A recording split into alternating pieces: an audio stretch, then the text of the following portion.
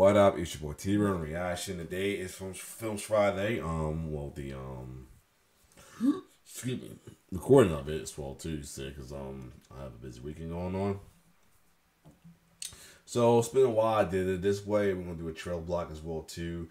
Um, first trailer, kicking things off with um trailer for trailer documentary for one one of my the all time greatest hip hop trio of all time, Run DMC. This is Queens from New York, the Run DMC story. So um, you know, they the kings, man. That's almost like so. Without further ado, let's check this out.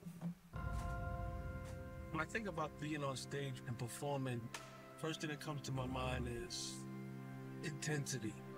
When Run was being Run, Darryl was being Darryl, and Jay was being Jay, it was heaven. It was Nirvana. When we get on stage, we do what we gotta do. Rock the house. Party people, your dreams have now been fulfilled.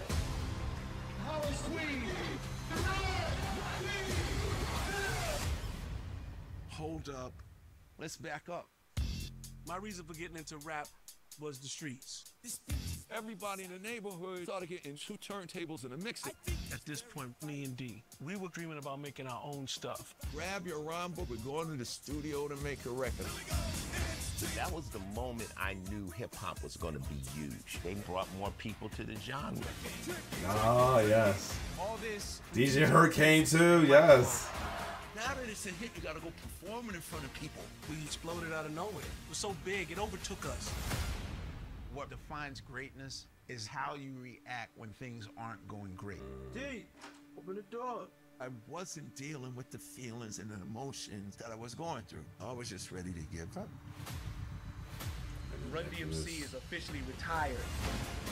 It made him go, Three this part is then. who we are. We ain't from the Bronx and we ain't from Brooklyn. We from Queens. I love it. He made something that no one ever made before. They the reason hip hop is as big as it is right now. I did not know until the last second that I was about to go do something so big and so historic. Wow. They changed the sound of music, the audience for rap music. Yup. When you saw me running Jay, you didn't see celebrity. You saw yourself. Pretty Get much. in front of the world, and you let people know who you are. I'm gonna keep this up. I'm gonna keep this up for the rest of the trailers though. But yeah, this was um. But yes, I. Oh, it's out right now.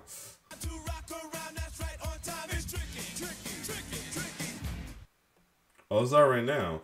All right, cool. I didn't mean to do that, but anyway, um, it's out right now. Perfect. So yeah, um, but yeah, they they changed the they changed the game in, in hip hop as well too. Though not only with just that they sounds, but they style as well too. You know, if before them it was like the um disco band, disco bands. being like uh rappers going on as well too. They had flow and everything, but they still living in the disco era very prolonged as well too. Even with the fashion as well too. Till one day they almost went, went that route, but Russell changed the game. Russell and mainly Jay changed the game to have them just like themselves. Now, I mean, don't put no no costume on, be themselves, and the history. And change the game for a lot of our hip hop artists as well too, man. So other than that, if you like my reaction to this, like, share, subscribe to this channel. I will make a trailer block for the others, but this one I had to keep separate. But anyway, your boy T-Bear signing off. One love. You know what? Hmm. Let's see. Yeah, I might keep. I'm gonna separate these trailers today, so I'm gonna do that. So anyway, it's your boy T-Bear signing off. One love.